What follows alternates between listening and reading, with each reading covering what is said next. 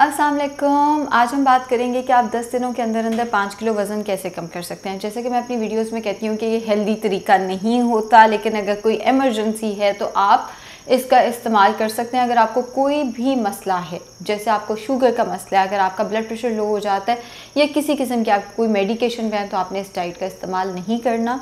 इस डाइट को ज़रूरत से ज़्यादा भी इस्तेमाल नहीं करना विच मीन्स के टेन डेज़ का मतलब है जस्ट टेन डेज़ इस्तेमाल करना है, ज़रूरत से ज़्यादा इस्तेमाल करेंगे तो फिर ज़ाहिर है कि आपको बहुत सारी डेफिशेंसीज दे सकती है। सिंस ये हेल्दी डाइट प्लान ही है, ये बहुत थोड़े अरसे के लिए डाइट प्लान दिया जाता है, जो कि इन केस ऑफ़ इमरजेंसी अगर आपको वज़न कम करना है तो उसमें आपको हेल्प कर सकता है। स्टार्ट हम करेंगे प्री ब्रेकफास्ट से एंड मैं चाहूँगी ये कि हम इसमें इंटरमीडियंट को फिर से कंटिन्यू रखें। मुझे इंटरमीडियंट फास्टिंग वैसे भी बहुत पसंद है, खुद भी मैं अक्सर इंटरमीडियंट पे ही होती हूँ। ज़्यादातर मैं इंटरमीडियंट पे ही होती हूँ ताकि वेट मेरा मेंटेन रहे और मुझे थोड़ा सा मार्जिन भी मिल जाए इधर उधर से खाने का। तो लेकिन इसमें हम थोड़ी सी कम डाइट के साथ लेकिन इंटरमीडियंट को फॉलो करेंगे। प्री ब्रेकफास्ट आपका होगा वन इंच सिनेमन रात को एक कप पानी में भिगो के रख देना है। एम स्टमक इस पानी का इस्तेमाल करना है, इसको ठंडा गर्म नहीं करना। अगर किसी वजह से आप सिनेमन इस्तेमाल नहीं कर सकते तो आपने उठते साथ ही one cup lemon grass tea इस्तेमाल करनी है। और लेमन ग्रास इस तरह कि पूरा कप पानी का गर्म करने के बाद उसमें लेमन ग्रास के पत्ते डाल के उसको ढक के रख देते हैं। लेमन ग्रास को कभी भी पानी में पकाते नहीं हैं, वो गलत तरीका है। बेशक आप पैन में पानी गर्म करने के बाद उसमें लेमन ग्रास डाल के ढक के रखते हैं बेशक कप में लेमन ग्रास डाल के ढक के रखते हैं उसके बाद आपने उसको स्ट्रेन करके इस्तेमाल करना है। हरगिज लेमन ग्रास को पकाना नहीं है। सो ये हो गया आपका प्री ब्रेकफास्ट ब्रेकफास्ट हम रखेंगे अपना ग्यारह बजे के करीब बिकॉज़ दिन लंबे हो गए हैं तो ग्यारह से सात ज़रा मुनासिब टाइम रहेगा इंटरमीडियंट के लिए। ग्यारह बजे के करीब आपने लेना है एक अंडा पूरा, एक अंडे की जस्ट वाइट ज़्यादा सारी वेजिटेबल्स डालकर आपने इसका ऑमलेट बना लेना है और इसके साथ आपने एक एप्पल या पीच या नाशपाती या अमरूद या आधा अनार इस्तेमाल करना है। इसके अलावा कोई फल नहीं आएगा। एक दिन आप ये नाश्ता करेंगे नेक्स्ट डे आपने ये नाश्ता नहीं करना, बल्कि जस्ट एक उबला अंडा लेना है और उसके साथ फालसे का शरबत स्टिविया डालकर ले लेना है। उस केस में फालसा आप आधा कप लेंगे, बाकी तो पानी और काला नमक है, वो आप जितना मर्ज़ी डाल दें। काला नमक डालना है, दूसरा वाला नमक नहीं डालना टेबल सॉल्ट नहीं डालना और चीनी नहीं डालनी, उसमें आपने डालना है स्टिविया। अगर किसी वजह से आपके शहर में फालसा अवेलेबल नहीं है तो आप एक उबला अंडा और उसके साथ एक ग्रीन कलर का एप्पल लेंगे। ग्रीन एप्पल भी अवेलेबल नहीं है तो आपने आधा कप इतना सा आपने तरबूज, आधा कप मेयरमेंट में 125 ग्राम्स होता है। तो आधा कप आपने तरबूज या खरबूजे का इस्तेमाल कर लेना है। अब कुछ लोग कहते हैं कि वो अंडे का इस्तेमाल नहीं कर सकते, उन्हें एग एलर्जी है या किसी वजह से उन्हें अंडा सूट नहीं करता। बहुत सारे इंडिया के पेशेंट्स हैं जो कि अंडा नहीं खा पाते तो उस केस में वो यहाँ पे बेसन का चिल्ला इस्तेमाल कर सकते हैं नाश्ते की जगह, जिसमें आपने दो खाने के चम्मच बेसन बेसन अवेलेबल नहीं है तो आप ओट्स भी ले सकते हैं। या आपका यूरिक एसिड का मसला है जिसमें बेसन कोई अच्छी ऑप्शन नहीं है तो उस केस में आप ओट्स का चिल्ला बना सकते हैं। टू टेबल स्पून बेसन या ओट्स लेना है, उसमें पानी डालकर ज़्यादा सारी वेजिटेबल्स डाल के, जैसे हम पैन केक को फैलाते हैं। वैसे आपने नॉन स्टिक पैन के ऊपर बेसन के या ओट्स के चिल्ले को फैलाकर दोनों तरफ़ से आपने इसको पका लेना है। इसके साथ आप दो से तीन खाने के चम्मच रायता इस्तेमाल करेंगे। कोई सालन नहीं आएगा कोई और चटनी, कोई सॉस नहीं आएगी, दो से तीन खाने के चम्मच आप पुदीने या ज़ीरे का रायता इस्तेमाल कर सकते हैं।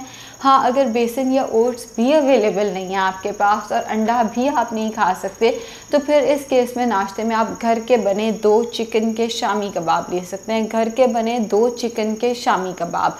हथेली से बड़ा कबाब नहीं होना चाहिए और कम से कम ऑयल में बना हुआ कबाब होना चाहिए। आलू के कबाब नहीं होते, वो कटलेट्स होते हैं तो इनको कन्फ्यूज़ नहीं करना। दाल और चिकन को मिक्स करके आप घर के बने अपने दो कबाब नाश्ते में फिर इस्तेमाल कर सकते हैं। ये हो गया आपका नाश्ता। इसके एक घंटे के बाद आपने ब्लैक कॉफ़ी पीनी है। किसी वजह से आपको ब्लैक कॉफ़ी सूट नहीं करती या ब्लैक कॉफ़ी पी के आपका हार्ट रेट बहुत बढ़ जाता है तो फिर उस केस में आप ग्रीन टी का इस्तेमाल कर सकते हैं। अगर आपको ग्रीन टी भी सूट नहीं करती तो जस्ट आपने दो ग्लास नीम गर्म पानी पी लेना हैं और जिन लोगों को मेरी तरह चाय की बहुत आदत है तो उन्होंने इतने से दूध के साथ चाय पीनी है। चाय में जितना दूध ज़्यादा है, चाय उतनी ख़तरनाक है। चाय के वैसे बहुत बेनिफिट्स होते हैं, मैं कभी चाय के बेनिफिट्स पर भी वीडियो बनाऊँगी, लेकिन जब आप इस डाइट प्लान पे हैं तो इतना सा दूध बगैर चीनी के चाय चाहे जितने कम दूध के साथ है, वो उतनी ज़्यादा फ़ायदेमंद है। दोपहर का खाना हम रखेंगे ढाई बजे के करीब, जिसमें आप लेंगे कच्ची सब्जियों का सलाद, जितना मर्ज़ी। इसकी कोई क्वांटिटी नहीं है, जितना मर्ज़ी कच्ची सब्जियों का सलाद ले लें। उसके साथ आपने हथेली के बराबर चिकन लेना है। आपकी रिक्वायरमेंट आपकी हथेली के बराबर है तो जितना आपकी हथेली में आसानी से चिकन आ जाता है, कबाब की फॉर्म में ले सकते हैं, कीमे की फॉर्म में ले सकते हैं, बोटी, वैसे आप हड्डी से निकाल के बोटी का इस्तेमाल कर सकते हैं। या आ, आ, कोई भी चिकन की फॉर्म जो है इस टाइम इस इस टाइम पे आप इस्तेमाल कर सकते हैं। यहाँ पे आप कैबेज चिकन सूप भी इस्तेमाल कर सकते हैं। अगर आपको थायराइड है तो आपने कैबेज का इस्तेमाल नहीं करना।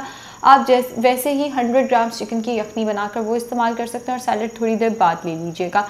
चार से पाँच बजे के करीब आपने फिर से ग्रीन टी का इस्तेमाल करना है और रात का खाना होगा आपका तकरीबन साढ़े छः साढ़े छः शुरू करेंगे तो उसको सात बजे तक आप फिनिश कर सकेंगे। रात का खाना होगा कच्ची सब्जियों का सलाद, फिर से जितना मर्ज़ी नहीं दिल करता इस टाइम पर सलाद का तो बेशक रहने दें, लेकिन दोपहर में ज़रूर लेना है। उसके साथ आधी रोटी, लाल आटे की रोटी होनी चाहिए, गंदम की रोटी होनी चाहिए या पंद्रह चाय के चम्मच चावल, ये टेबल स्पून नहीं है, ये टी स्पून है, छोटा चाय का चम्मच चावल, पंद्रह चाय के चम्मच चावल और उसके साथ सालन जो बना है, जितना बना आप खाना चाहें, खा सकते हैं। सालन की कोई क्वांटिटी नहीं है। पेशेंट एंगजाइटी में चले जाते हैं, हम एक किलो खा लें हाँ खा लें, कोई मसला नहीं है। सालन जितना मर्ज़ी रोटी चावल जो मैंने बताया वो आप बढ़ा नहीं सकते। एक दिन आप रोटी चावल खाएँगे नेक्स्ट आपने जस्ट सालन चम्मच से खाना है। मतलब इसको भी ऑल्टरनेट करना है। जैसे नाश्ते को ऑल्टरनेट किया था, इसको भी आप ऑल्टरनेट करेंगे। एक दिन रोटी चावल नेक्स्ट डे सालन चम्मच से, फिर रोटी चावल, फिर सालन चम्मच से, फिर रोटी चावल, फिर सालन चम्मच से। ऑल्टरनेट आपने इसको लेकर चलना है। रात को 9 से 10 बजे के करीब आपने दो खाने के चम्मच इसबगोल दो ग्लास नीम गर्म पानी के साथ लेना है। एक गिलास नीम गर्म पानी में दो खाने के चम्मच इसबगोल डाल के वो पीना है और उसके ऊपर से एक गिलास पानी और पी लेना है। अगर आप लेट नाइट जाग रहे हैं तो आप ब्लैक कॉफ़ी का या ग्रीन टी का केटल बना के अपने पास रख सकते हैं, थर्मस बना के अपने पास रख सकते हैं। आप इसी का इस्तेमाल करेंगे और किसी चीज़ का इस्तेमाल नहीं करना।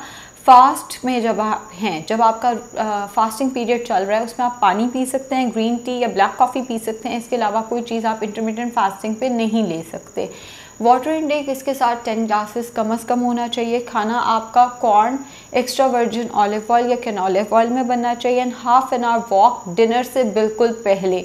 डिनर से बिल्कुल पहले ज़रूरी है। एंड वॉक इस तरह से करनी है कि आपका हार्ट रेट तेज़ हो, वरना वॉक का कोई फ़ायदा नहीं होगा।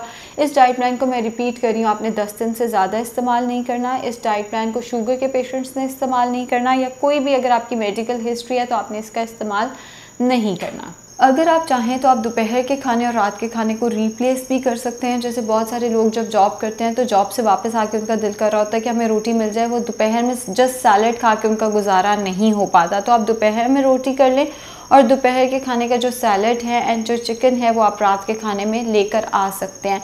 अगर आपको लगता है आपका एनर्जी लेवल लो हो रहा है तो आप लीमू पानी थोड़ा सा काला नमक डाल के इस्तेमाल कर सकते हैं, या आप ओआरएस जो आता है शुगर फ्री उसका इस्तेमाल कर सकते हैं। मैं फिर रिपीट करी हूँ, अगर आप इसको दस दिन से ज़्यादा लेकर जाएँगे डाइट प्लान को तो फिर ये आपको डेफिनेटली साइड इफ़ेक्ट्स दे सकता है। एंड ये भी रिकमेंडेड नहीं होता। ये तभी होता है जब आप किसी इमरजेंसी में अपना वेट एकदम रिड्यूस करना चाहते हैं, या आपको बहुत ज़्यादा मोटिवेशन की ज़रूरत होती है, या आपको लग रहा होता है कि मेरा तो वेट अब जो मर्ज़ी कर लूँ, ये कम नहीं हो सकता। तो उस केस में एक मोटिवेशन के लिए आपने इस डाइट प्लान को इस्तेमाल करना है। ज़रूरत से ज़्यादा इस्तेमाल करने में प्रोटीन लॉस भी हो सकता है शुगर भी लो हो सकती है। दस दिन तक ये अगर आप वैसे हेल्दी हैं तो आपको साइड इफ़ेक्ट्स नहीं देगा। अगर आप शुगर वगैरह के पेशेंट हैं या किसी भी चीज़ के लिए कोई दवाई ले रहे हैं तो आपने वैसे ही इसका इस्तेमाल नहीं करना। शुक्रिया।